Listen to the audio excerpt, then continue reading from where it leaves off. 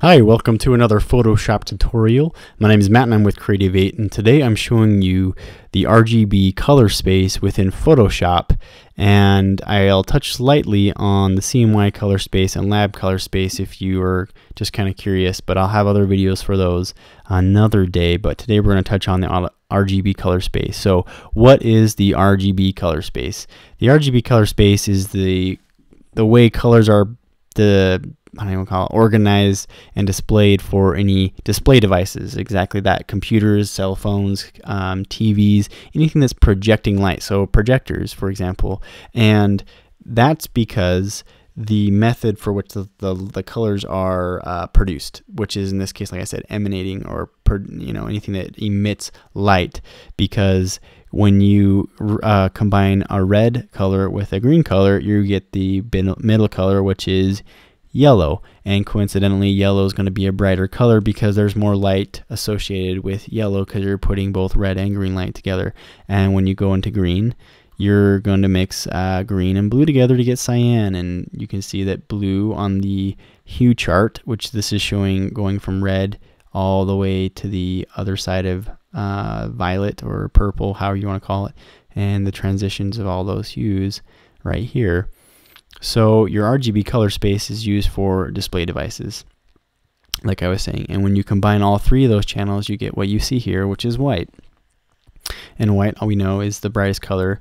And and you know when you're out in the sun, you wear white because it keeps you cool because right it reflects all of the light right where if you wear black it just absorbs it and so you get hot and um, I'm trying to think uh, when you this is a good point to bring up the CMYK. CMYK operates on a subtractive um, like principle, I guess is what you would say.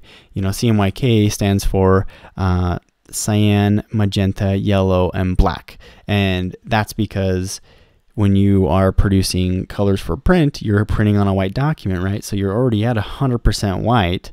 You're already at a white. So how do you get yellow on a white background? You don't you don't you can't do that right? So you have to incorporate um, some darkness into it. You have to remove color to allow that to reflect right? You have to subtract um, to get to get green you have to subtract red from that. So you're going to add magenta and magenta will subtract the red and you'll get uh, green. I, I, hope that's right. It probably isn't. I don't know. But that that's how the op, the CMYK palette operates which is a subtractive color space. And coincidentally your colors aren't as bright and vibrant as on a display device. And that's the same thing with within Photoshop, when you work with an RGB document, your colors are going to be a lot more richer. You're going to have a lot more brighter colors. And so when you are working in an RGB document and you move to a CMYK profile, or you're going to send that to print, your colors will not come out looking the same as you display them on the screen. So if you are going to print something that you are designing in RGB color space, always uh, adjust it uh, see what it's going to look like when you convert it over to a CMYK color space. And you can do that up in Photoshop by going, I think, edit and convert to profile. And you can convert that to a CMYK profile. And even just looking at that right now, I can tell, I can tell you right now, the colors look are not right. This is what I just did. is convert it to a CMYK palette. And you can tell already it's very uh, dark, very dull.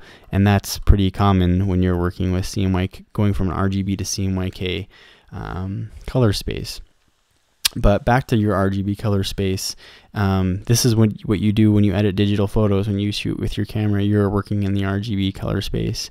And when you want to, going into the lab, just to touch on the lab color space, your lab color, color space is used for color correcting and editing the colors of the image. It gives you additional control than what you would have in the RGB color space and it also um, you're not going to lose any color when you work between these two color spaces. I mean, there could be a slight, but I don't, not that I know of, it doesn't warn you about that, and I've never had any issue with that, working with that. But that'll be another tutorial, an advanced tutorial on working within the lab color space. But uh, yeah, just talking about the RGB, you're using, just to highlight it, you're going to use RGB for any display devices, websites, computers, uh, cell phones, TV, television, projectors, anything that's going to project light is going to use an RGB color space. You have more color options. You're going to have brighter colors and more saturated colors within an RGB color space. The CMY color space is used for print. It's not as vibrant. You don't have as many colors when we're when uh, as you would in an RGB color space, and it's uh, based upon a subtractive light principle, meaning light is subtracted or removed from it, and you work your way down to black. Whereas in RGB, you work your way to white. So I hope that explained how photos are created within Photoshop and. Um, yeah, I hope you got to understand the RGB color space. Uh, my name is Matt, and I hope you comment, share, and subscribe to these videos. I appreciate it. Thank you.